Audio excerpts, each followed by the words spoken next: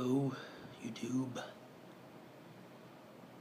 I thought I'd read some of Peter Wessel Zapffe's essay, The Last Messiah, which was published in 1933 in Norway.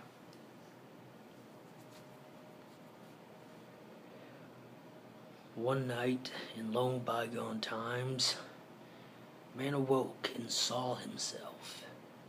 He saw that he was naked under cosmos, homeless in his own body. All things dissolve before his testing thought.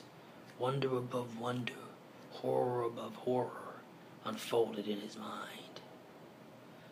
Then woman too awoke and said it was time to go and slay and he fetched his bow and arrow, a fruit of the merit of spirit in hand, and went outside beneath the stars. But as the beast arrived at the water holes where he expected them to habit, he felt no more the tiger's bound in his blood, but a great song about the brotherhood of suffering between everything alive. That day he did not return with prey, and when they found him by the next new moon, he was sitting dead by the water hole. Whatever happened, a breach in the very unity of life, a biological paradox, an abomination, an absurdity, an exaggeration of disastrous nature. Life had overshot its target, blowing itself apart. A species had been armed too heavily by spirit made almighty without but equally a menace to its own well-being.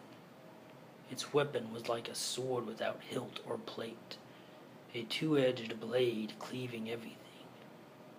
But he who is to wield it must grasp the blade and turn one edge toward himself.